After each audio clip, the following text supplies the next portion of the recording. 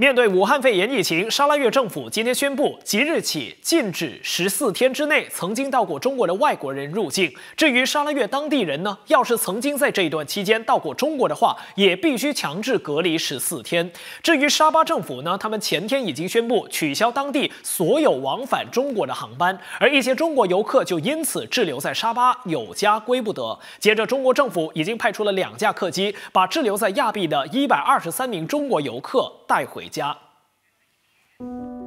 随着沙巴禁止当地所有往返中国的航班之后，中国政府昨天派出两架客机，再送一百二十三名滞留在亚庇的中国游客回家。放眼望去，亚庇国际机场内几乎所有中国游客都戴上了口罩，工作人员也不忘在登机前向他们温情喊话。呃，那么这也充分体现了我们这个祖国啊，没有忘记大家，啊，时刻牵挂着大家。在等候登机期间，也有人向前来接送他们回家的人员打气：“中国加油，武汉加油！你们工作人员也要保重，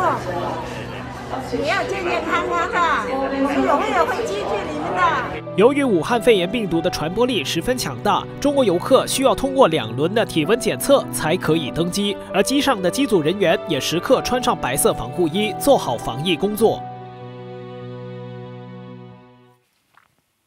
世界卫生组织将武汉肺炎列为国际公共卫生紧急事件，我国政府呢也快马加鞭进行撤侨工作。我国驻中国大使诺希尔万在那阿比丁说呢，中国当局已经批准让滞留在武汉的一百一十七名大马公民回国。而《星报》也引述消息说，目前有六名驻华大使馆的工作人员正前往武汉进行身份的鉴定工作。不过，大家也知道，自封城那天起，当地的公共交通一直处于停摆状态，所以这些工作人员必须开上大约一千一百公里的车程，连夜赶路，估计会在明天凌晨时分抵达武汉。